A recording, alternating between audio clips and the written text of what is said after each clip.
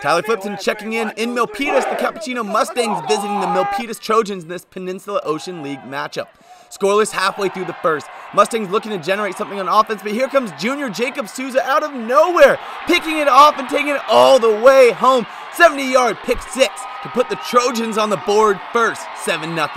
Early second quarter now after Milpitas field goal. Adrian Chavez selling the play fake well here, keeping it and finding the end zone on the 20 yard scamper touchdown.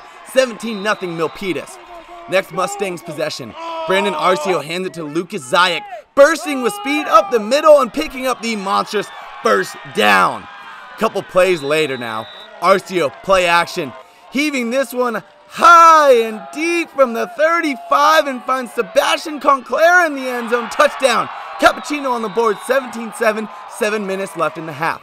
Trojans answering. Chavez gives it to Jacob Alvarado up the middle, makes a cutback past the defender, and there he goes with his breakaway speed for the 45 yard rushing touchdown, extending the Trojan lead 24 7. Capuchino marching right down the field and punching it in through the pile is Zayac. 24 14, Trojans lead at the half. Third quarter now, Mustangs with another dominant drive and muscling it in is yet again Zayac.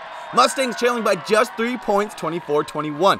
Here come the Stangs. Arceo off to Zayac, finding a massive lane up the middle and room to go, but is brought down just short. Cap would end up scoring though, taking the lead 27-24.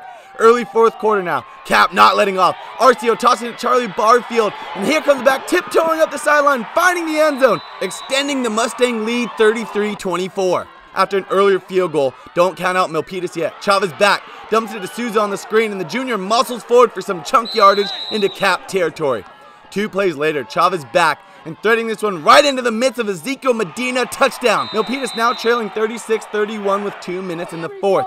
Capuchino with the ball back, looking to ice the game, and sure enough, as steady as they come, it's Zayac up the middle for the game-sealing first down to run out the clock. Capuchino staying perfect at 6-0 overall, with big help from their stud of the night, Lucas Zayac. He's this week's Mattress Firm peak performance. The right mattress matters to reach your peak performance. Visit a Mattress Firm store today.